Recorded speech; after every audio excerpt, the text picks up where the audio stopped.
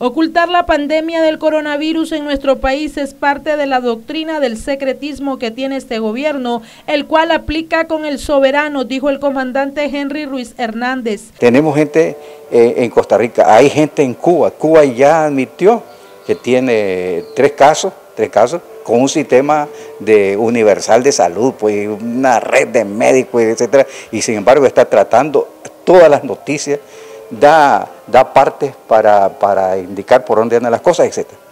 ¿Sabe qué?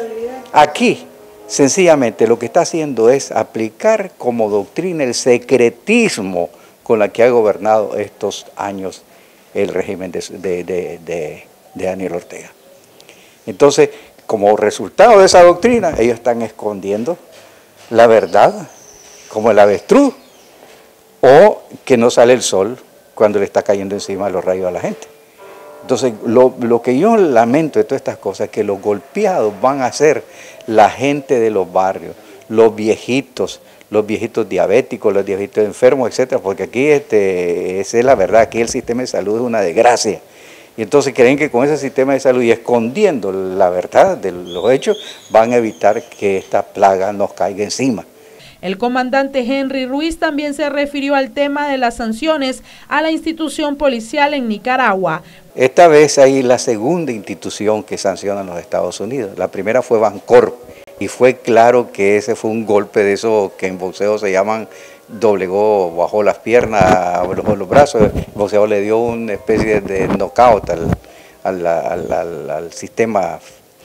¿Por qué? Porque inmediatamente se vio que pasaron a desmembrar, a dislocar lo que era el grupo de empresas albanesas. Inmediatamente se vio, le cambiaron de nombre, etcétera, no les dio resultado y probaron, los bancos les retiraron el derecho a tener cuenta, etcétera, y eso dificulta la contabilidad y el control de un grupo de empresas. Eso se vio el efecto. Ahora con la policía, ahí se está diciendo que si el seguro, que el sistema de seguro que tiene la policía, se lo van a retirar a la propia policía, etcétera. Pero ahora la pregunta se dice uno, bueno, ¿y quién, quién vigila, quién controla esos fondos?